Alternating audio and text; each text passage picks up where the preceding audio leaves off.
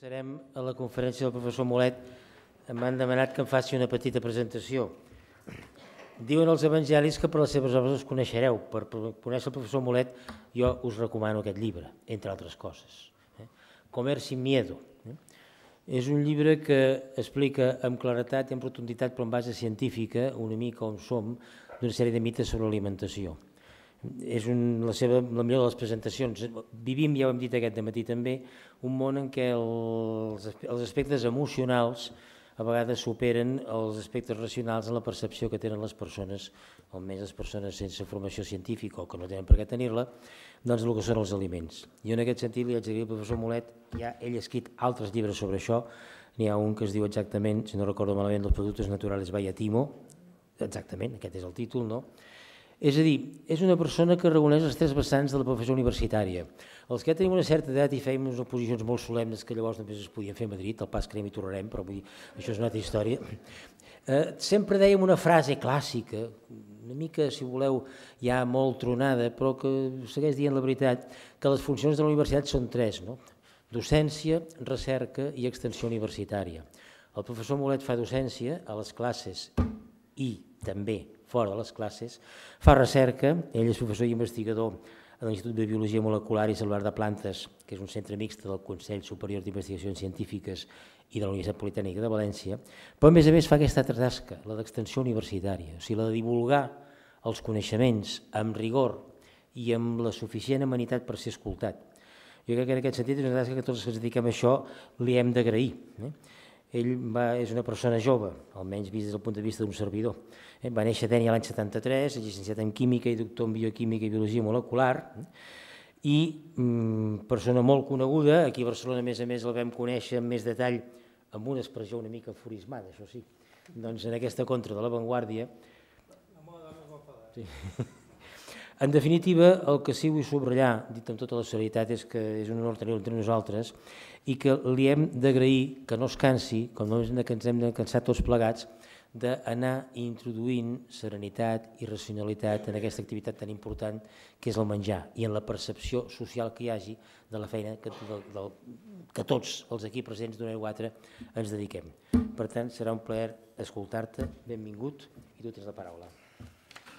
Moltes gràcies, un honor a aquesta presentació i mm, vaig a parlar un poquet de lo que està siguent la AstraZenecs, de l'efecte que estan tinguent en l'agricultura, però vaig a centrar-me sobretot en presentar dades. Espero no avorrir-vos, però vaig a donar-vos totes les dades per a que després podeu triar si molta de la informació que rebem sobre AstraZenecs realment és certa o no. Doncs, esta que no es veu massa bé, Cine Agricultura Nihil, o com punyetes es pronuncia, perquè jo no sé llatí, és el lema de l'Escola d'Agrònoms de Madrid, de la Politécnica de Madrid, nada sin agricultura. I realment és veritat perquè l'agricultura és la base de qualsevol societat.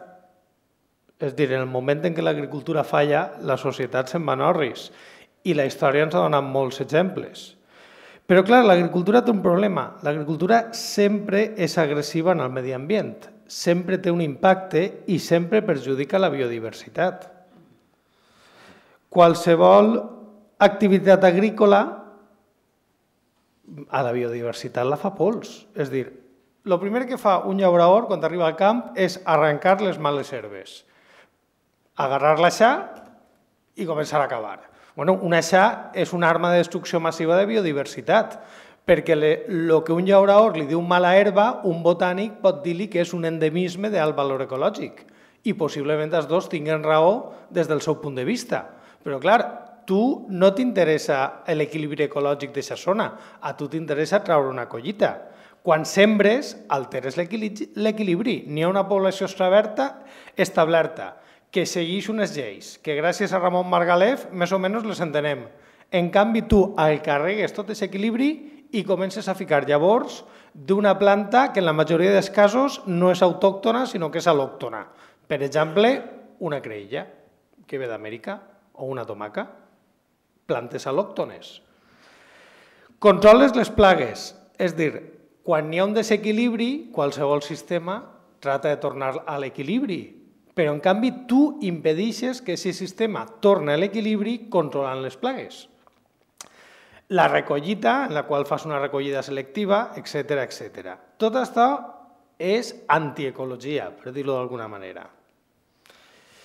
I clar, les plantes que estem gastant en l'agricultura pues tampoc poden dir que siguin plantes naturals o plantes salvatges. Per exemple, aquí tenim un quadre de Velázquez que es diu Don Sebastián de Zarro, l'enano. Eh, este és un enano de la corte de Felipe IV, eh, té una enfermedad genètica que es diu acondroplàsia, que és l'enanisme d'extremitats curtes. El cap i el tronc tenen una mida normal, però els braços i les cames són més curtes. Este gos eh, és un tekel o un dachshund, no ho sé, de gossos no en molt. Quan tu no veu este gos pensaria que és un gos maralt. bueno, doncs este gos té exactament la mateixa enfermetat que té el personatge del quadre. La diferència és que artificialment, per selecció, s'ha intentat que mantinga aquest caràcter. Per què? Perquè és un animal més graciós i serveix més com a mascota. Quan en el fons és un animal malalt. Els gossos es van domesticar a partir dels jocs. Algú s'imagina un tekel tenint que tornar a la natura i tenint que competir per la seva pressa en una manada de llops? Pues, home, jo diria que aquesta nit els jocs sopen doble. El que val per als animals val exactament igual per a les plantes. Eh, la majoria de les plantes silvestres que hem domesticat, el que hem fet és agarrar caràcters que en la natura hagueren desaparegut per selecció natural, com per exemple la llavor més gran, l'espiga més curta, i seleccionar-los. Aquí, per exemple, tenim el blat de moro, panís, encara que jo a partir d'ara segurament diré daxa, ja no cal que traugueu la traducció simultània, si dic daxa vull dir panís, que ve a partir del teocinte, que és una planta silvestre, i no es pareix en res, la daxa al teocinte. El blat, el blat és un Frankenstein, vull dir, e, és una aberració, e, és una espècie que no existiria mai en la natura i, i vamos, el Frankenstein per lo menos tenia pinta humana. Eh, nosaltres tenim tots dos còpies del genoma. Bueno, pues el blat ve d'una hibridació artificial eh, feta en el crescent fèrtil farà uns 6.000-7.000 anys, entre el Triticum unartum i una espècie que ha desaparegut, que no sabem quina és, possiblement estiga extingida. Que això va donar lloc al blat d'Emer, que és un antepassat del blat que es gasta per a fer pasta. Però el blat d'Emer, a la seva volta, es va hibridar en una altra espècie, que és l'Aguilopstauxi, per donar lloc al blat que gastem per fer pa, que és el triticum estivum. Entonces, per molt que diguen que el, que el blat, que el pa és natural, encara que t'ho diga Ponset, doncs què vols que el diga? El pa es fa a partir d'una espècie que és un hexaploide. Té sis còpies del genoma, però és que damunt d'aquestes sis còpies són iguals 2, 2 a 2. És a dir, té tres genomes diferents, el qual és una absoluta aberració. Però per què existeix? perquè està l'home seleccionant-la. Home, si tingueren que menjar espècies locals i de la natura, menjarien molt poc, perquè la majoria de les espècies cultivades venen d'aquestes cinc zones de radiació que estan situades entre els tròpics. N'hi ha molt poques espècies que tinguin interès en agricultura que, que siguin pròpies d'Europa o dels Estats Units. Alguna n'hi ha, però no són les més importants. Com havem aconseguit totes les espècies que ara ens donen de menjar? bueno, durant molts anys era simplement per selecció i per hibridació, és dir, amb molta paciència. Molta paciència és pues, quan tu espontàniament veies que hi havia una mutació, la seleccionaves i la creuaves, hasta que veies que hi havia una altra que t'interessava i anaves a Xina. Fa uns 50 anys, més o menys, en l'època nuclear, van perdre la paciència. Ja ens van cansar d'esperar Y entonces, señor, principalmente este de la derecha, que es Norman Borlaug, eh, bueno, Norman Borlaug és la persona viva, eh, no, viva no està, és la persona a la que més gent deu estar viva, perquè va ser el pare de la segona revolució verda i el que va crear les varietats de blat que estan donant de menjar a mitja humanitat. Bueno, després de eh, lo de la mutagènesis era si espontàniament en la natura es donen mutacions que algunes són útils, per què tenim que esperar? Agarrem un, un grapat de llavors, li fiquem un tractament que produïsca mutació, que pot ser radiació, pot ser agents químics, pot ser eh, radiació ultravioleta, sembrem i mirem a veure si hi ha alguna mutació de les que nosaltres hem induït que sigui interessant. I així és com, per exemple, s'han fet moltes varietats d'arròs, de cereals, que avui en dia tenim als supermercats. En general, si algú vol menjar algo que no estiga manipulat, que, que l'home no l'hagi tocat, doncs mira, aquí tenim un test visual molt ràpid. Si algú vol menjar eh, blat de moro que no siga manipulat per l'home, és el de l'esquerra. Esta és la pinta que té una espiga de teocinte. Si veu blat de moro, jo siga convencional, ecològic, transgènic, que té la pinta de la dreta, té que saber que és degut a la intervenció humana. Entonces, natural no és.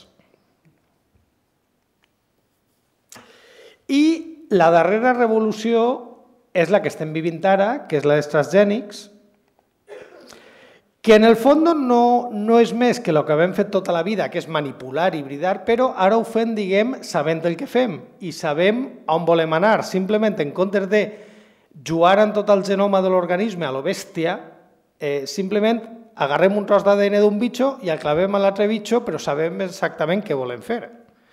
Entonces, eh, la tecnologia es va desenvolupar, bueno, primer en bacteris i microorganismes, després en plantes, i molt darrerament en animals, més que res perquè la tecnologia és més fàcil d'aplicar en plantes que en animals.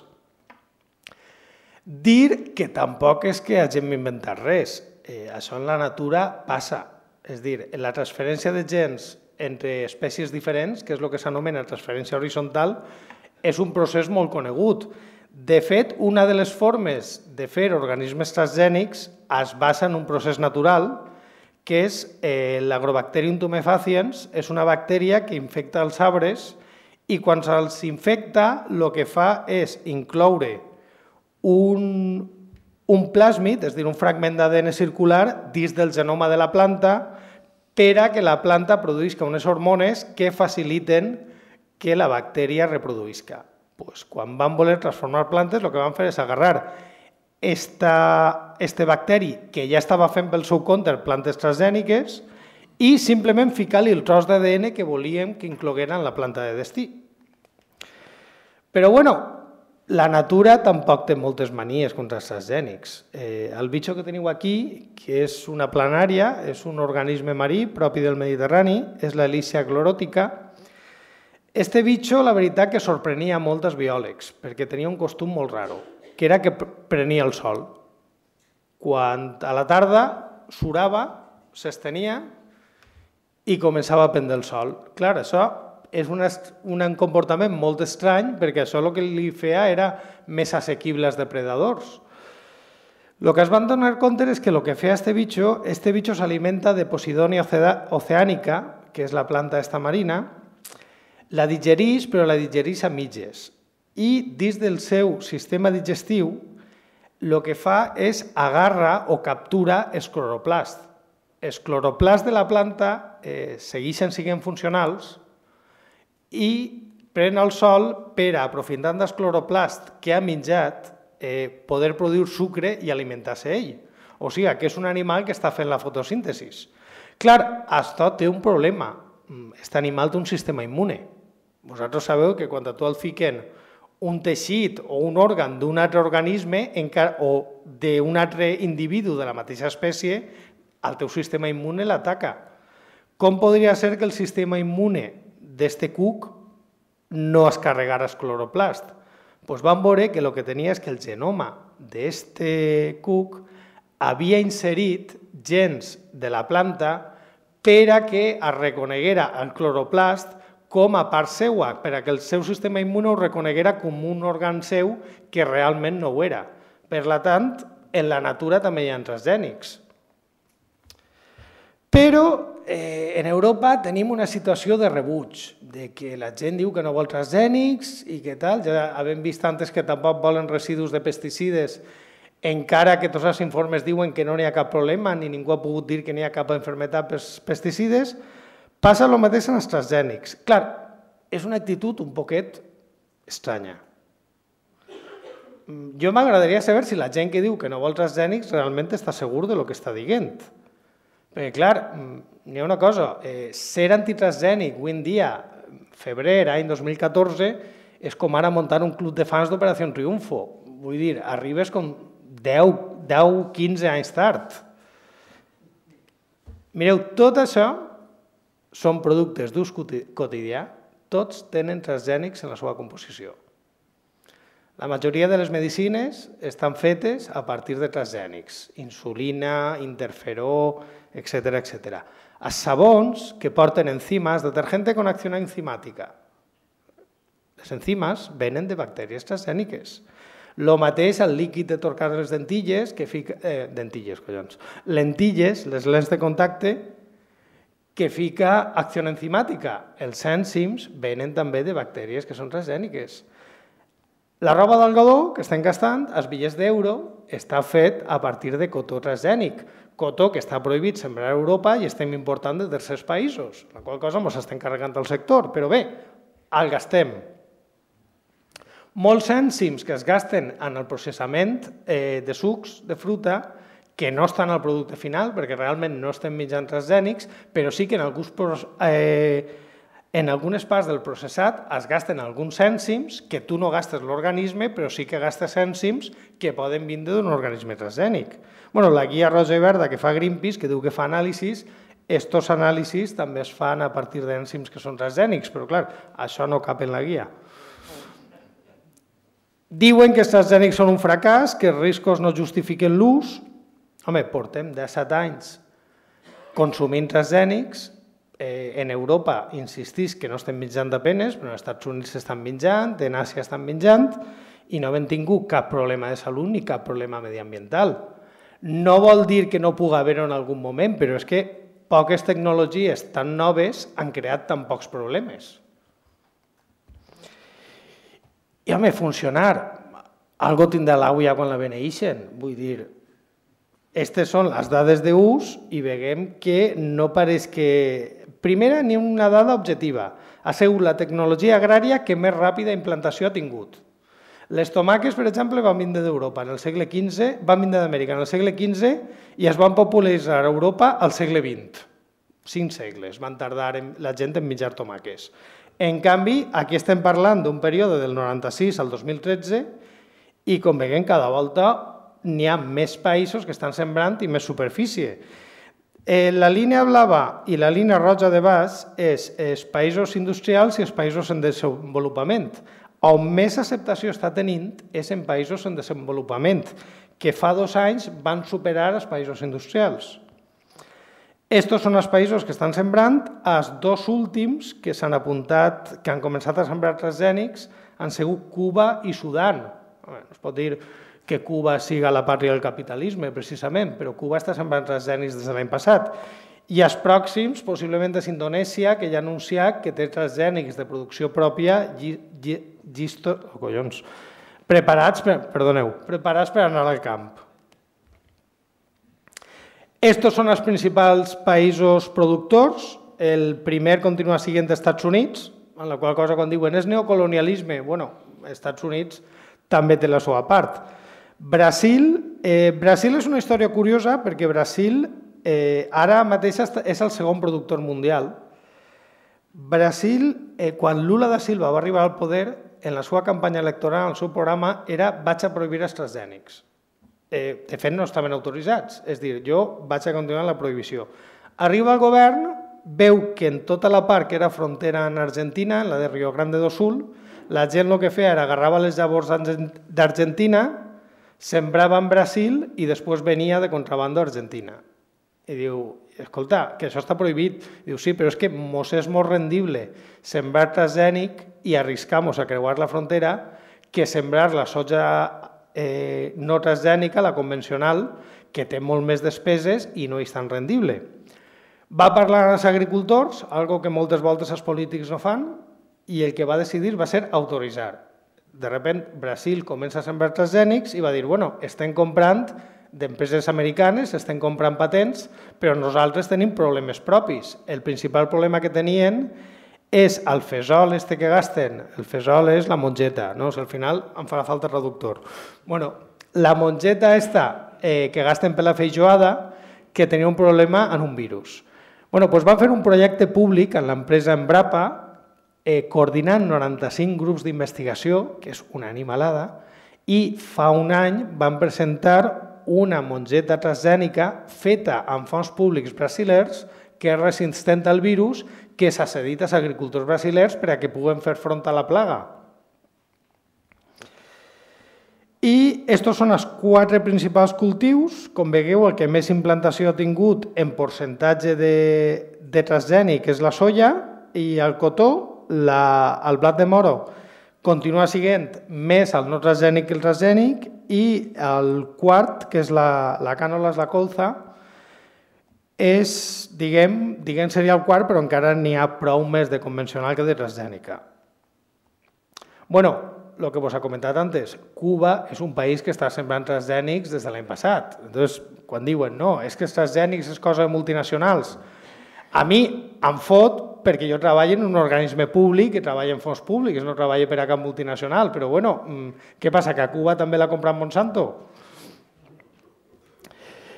I bueno, els que ja tenim en el camp, diguem que són els transgènics fàcils, els primers que van eixir, que són plantes resistents a insectes, resistents a herbicides d'ampli espectre o resistents a virus. Esta és el Mont 810, que és el que es sembra en tota la conca de l'Ebre, Llavors, per què es sembra? Pues molt fàcil. Això és un camp experimental en el qual no s'ha fet cap tractament d'insecticida i és un camp que està afectat per taladre.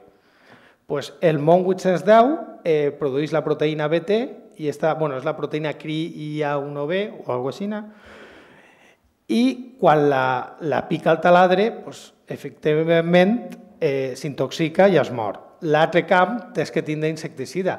Curiosament, aquesta proteïna BT no la proteïna, sinó l'organisme, la Bacillus thuringiensis, que és un, un bacteri que de forma natural viu al sol, està autoritzat al seu ús com a insecticida ecològic. És a dir, tu pots espolvorejar un camp en, amb bacteri mort i això està autoritzat com es diu que és ecològic per ser natural.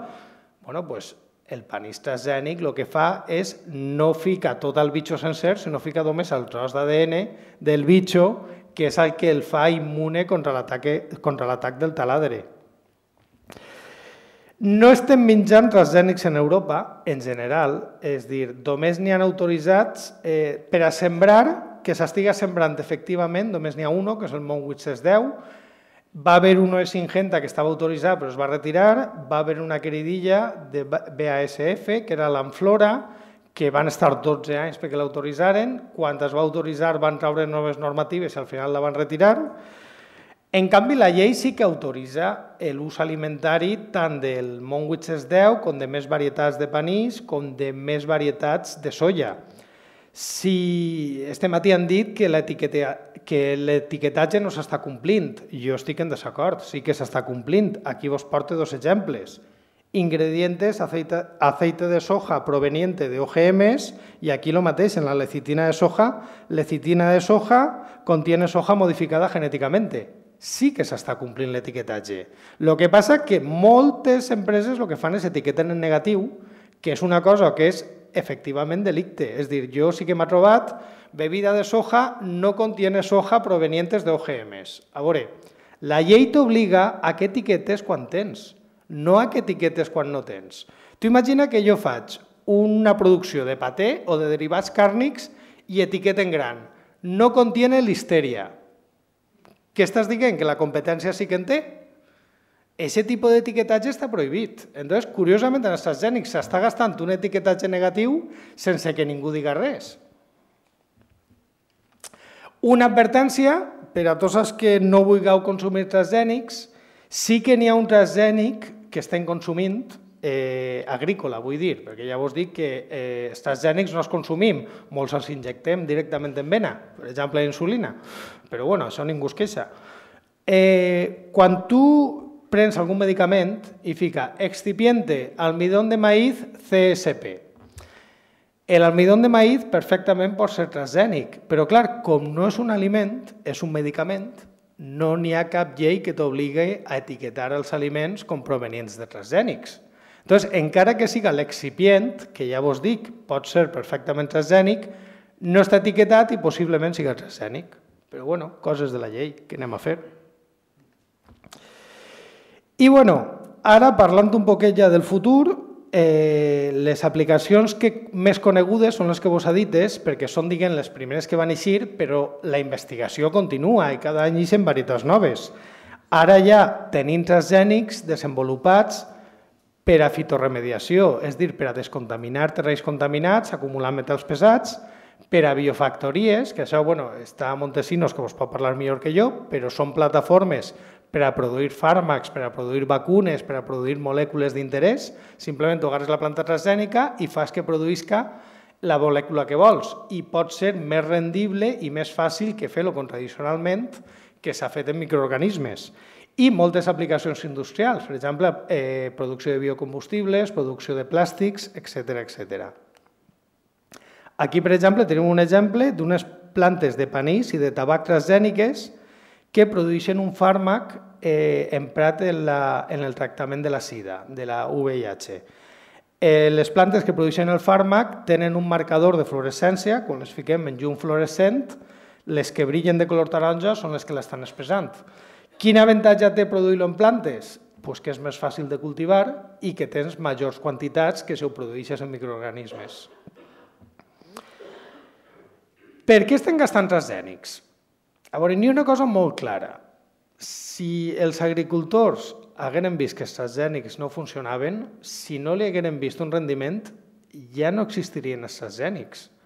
El millor exemple, els dos primers que van eixir, que van ser la tomaca, eh, eh, la tomaca aquesta que no es podria, que durava molt de temps, resulta que van agarrar una varietat de tomaca que no tenia eixida comercial, va eixir i es va retirar del mercat perquè no n'hi havia demanda. I no n'hi havia demanda perquè ningú agricultor volia sembrar-la, perquè no la comprava ningú, perquè era una tomaca que estava molt ruïn i que els consumidors no volien.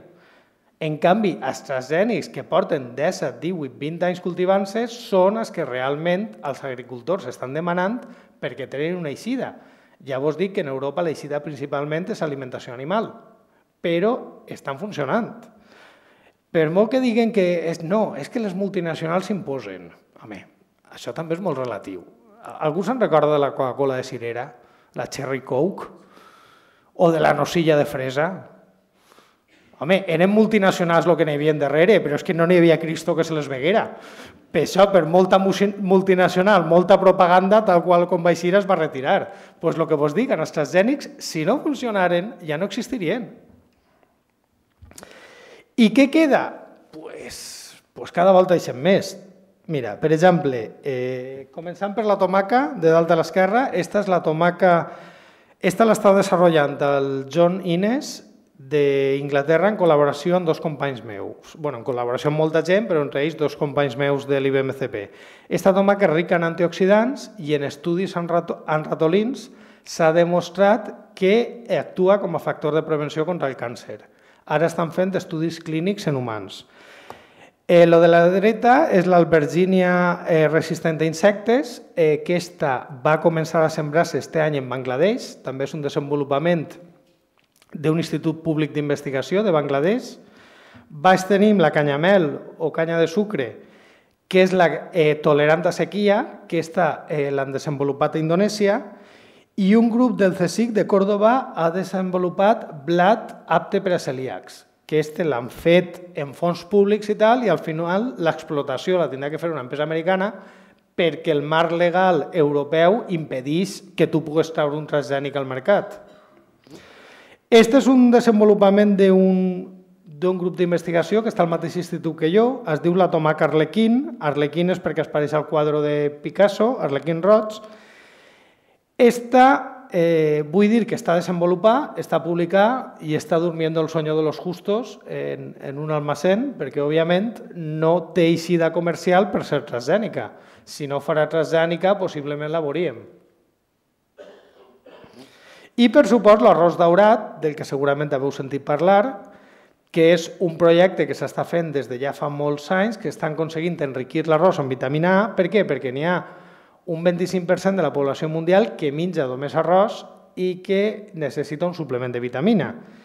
Aquest arròs ja està mm, comercialitzat, és a dir, primer es va aconseguir una primera versió, però la quantitat que tenia que produïa de vitamina A era molt baixa, s'estan fent millores, s'estan fent creuaments i ara sembla que ja s'arriba a una quantitat acceptable. Sorprenentment, eh, n'hi ha algunes organitzacions que estan fent campanya en contra d'aquest arròs, però bueno, allà ells, no cal que vos diga jo el que opine. I és que la febre aquesta arriba a situacions ridícules. Aquí teniu, per exemple, paper de fumar lliure de transgènics. Toma ja. O sigui, que ara el problema, eh, el fumar és bo, el que són dolents són els transgènics. Entonces jo faig paper de fumar sense transgènics. O sal lliure de transgènics. Sal, l'únic aliment mineral, lliure de transgènics.